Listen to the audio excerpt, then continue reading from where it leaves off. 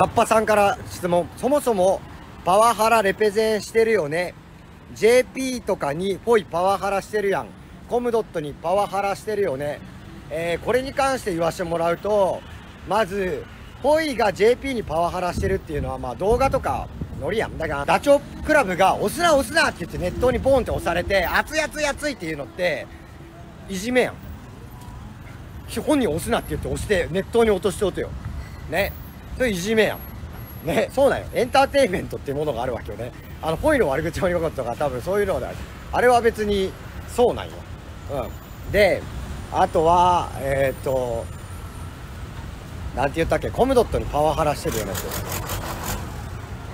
コムドットは2回ぐらいしか会ったことないしヤマトとしか会ったことない、うん、殴ったり蹴ったりもしてない。あのまあ SNS で煽りはするけどね。うん。まあいいや。パワハラの概念がわからん。ごめん。どこからどこまでがパワハラどこまでどこまでがパワハラじゃないかっていう正式な固定概念がないけど。まあうん。はい。それがダメなんよ。なんでダメなのやるやろ？お前普通に SNS の罵り合いぐらいみんなやっとるわ。いいか？日本が少なすぎるぐらいや。分かった。あの俺がこの前「ヘイト・ユア・ライフ」って言って揉めてるラッパーさんに向けて曲出して「俺!」みたいなことやっとったよね。海外ああいう曲ばっかよ。むしろ日本少なすぎ。ね。